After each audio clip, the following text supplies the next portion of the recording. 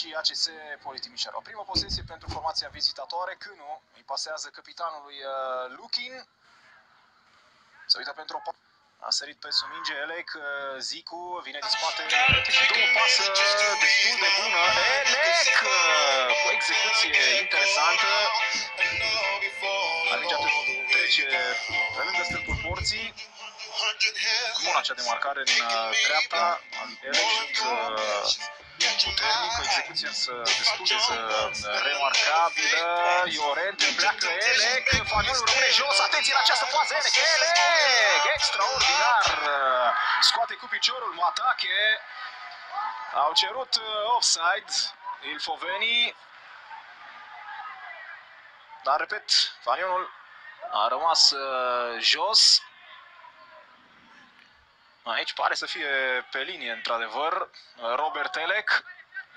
A vrut să placeze mingea, dar respinge cu piciorul stâng Matache pe o verticalizare excelentă. Elec, Robert Elec dă mingea pe lângă Matache. Gol! Robert Elec, minutul 28 0 pentru ACS Poli. A patra reușită staționară pentru uh, vârful de 27 de ani al Timișoarei. Acum iată că nu mai iartă pe Matache, față în față cu golkeeperul uh, Concordiei. L-a depășit pe Matache Robert Elec și a trimis uh, în plasă. Nici vorbă de offside. Foarte bună această pasă pe culoar pe care o primește Robert Elec tell myself, hey, I'm still strong. On back, till I'm 10 miles gone. And when the road stops, I'm gonna keep on.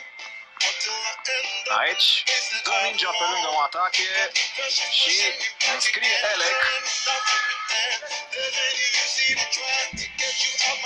Dan centrează,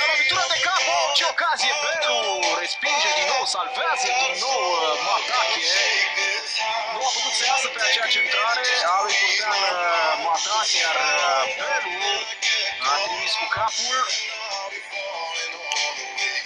A doua ocazie foarte importantă a Timișoarei în această primă repriză.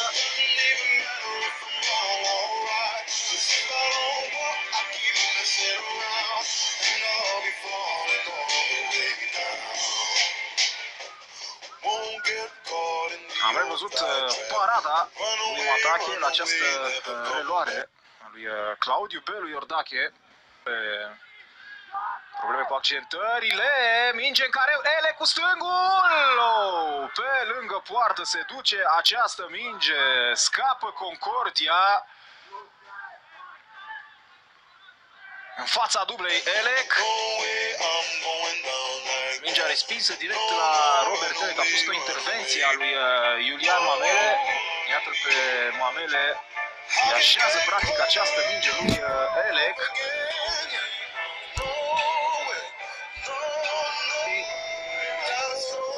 Classic